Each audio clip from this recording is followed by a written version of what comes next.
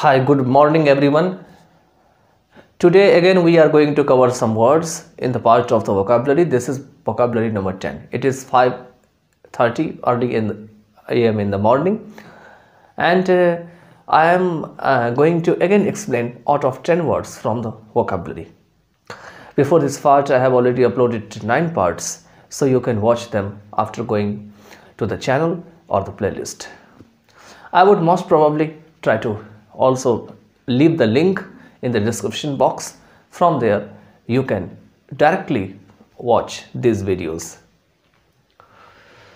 तो सबसे पहले जो है आपका वोकेबलरी पार्ट टेन में वो है barter B A R T E R barter barter के मीनिंग होते हैं रुपये आदि मुद्रा के बिना वस्तुओं सेवाओं आदि का लेन देन करना मतलब पैसे नहीं ले, लिया जाता है इसमें, लेकिन उसके बदले जो है आपका दे भी रखा है मुद्रा के बिना। उसके बदले कोई चीज़ दे दी जाती है, कोई वस्तु दे दी जाती है, या उसके बदले कोई काम कर दिया जाता है उनके लिए। तो सेवाओं आदि का लेन देन करना। तो इसी को जो है बार्टर कहा जाता है। नेक्स्ट जो है आपका वह है आपका इम्पेटस इम्पेटस का स्पेलिंग है I M P E T U S impetus का मीनिंग है किसी काम को तेज़ी से कराने वाला चीज़. मतलब कोई काम है तो उसको और थोड़ा तेज कराना है, उसको और क्विकली कराना है, उसको तेज़ी से एक्शन में लाना है तो ऐसी जो चीज़ें हैं उसी को इम्पेटस कहा जाता है. नेक्स्ट है आपका thought T H W A R T T H W A R T thought के मीनिंग होते हैं किसी की योजना में अड़चन डालना। किसी ने प्लान बनाया और उसमें जो है प्रॉब्लम आना चालू हो गया या किसी व्यक्ति ने उसमें प्रॉब्लम डालना चालू कर दिया तो उसी को थॉट कह सकते हैं। कोई बात नहीं होने देना। कुछ कहीं होने वाला होता है तो कोई जाकर के क्या करता है उसमें? तो उसमें प्रॉब्लम क्रिएट कर देता है तो उसी को थॉट कहा जाता है। नेक्स्ट है आपका recourse R E C O U R S E recourse means होते हैं कठिन समय में सहारा का ज़रिया। जब समय बहुत डिफ़िकल्ट हो सिचुएशन बहुत डिफ़िकल्ट हो, उस समय जो शेल्टर मिलता है, सहारा मिलता है तो उसी को रिकोर्स कहा जाता है। इसके बाद जो नेक्स्ट है, वो है आपका wheelwright W H double E L W R I G H T तो विल राइट के मीनिंग होते हैं, लकड़ी के बने हुए चक्के को ठीक करने वाला। वुड का बना हुआ जो विल्स होता है, लकड़ी का बना हुआ चक्का होता है, उसमें अगर कोई खराबी हो जाता है तो उसको जो रिपेयर करने वाले लोग होते हैं, उसी को व्हील राइट कहा जाता है। ध्यान रखिएगा, यहाँ पे डब्लू जो है वो साइलेंट होते हैं इसको बोला नहीं जाता है। नेक्स्ट है आपका craftsman C R A F T S M A N craftsman craftsman के मीनिंग होते हैं दस्तकार। दस्तकार जानते हैं? हाथ से जो काम करने वाले होते हैं, उसी को क्राफ्ट्समैन कहा जाता है। या शिल्पकार, या कुशलता से हाथ से चीज़ बनाने वाला।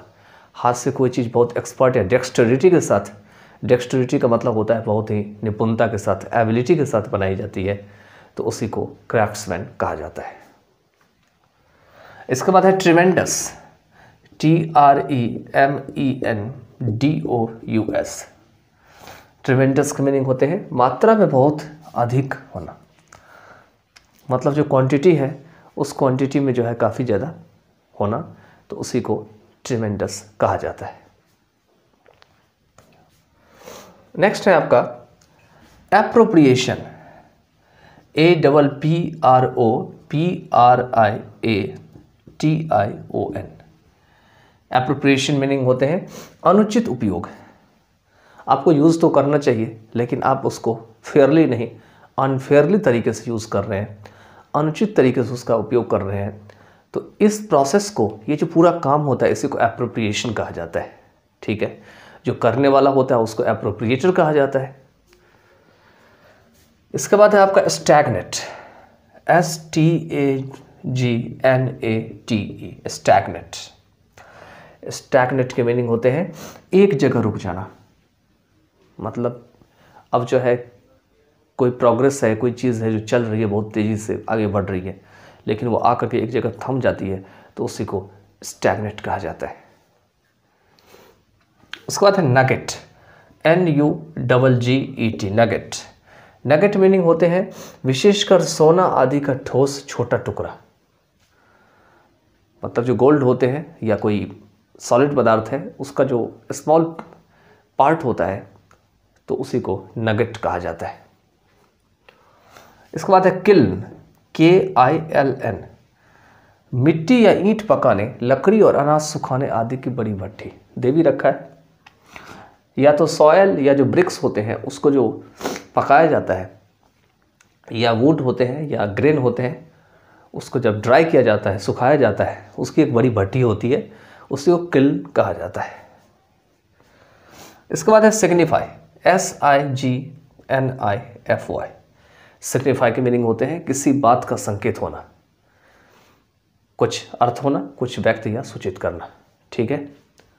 तो इसी के साथ जो है ये वर्ड आपका पूरा एंड होता है वोकलबरी का। I hope you have enjoyed this part of the video and in the next part of the video I would again be present with some difficult and some interesting words for you so that you can add them to your vocabulary and with the help of that you can strengthen your vocabulary bye then take care of yourself enjoy all this videos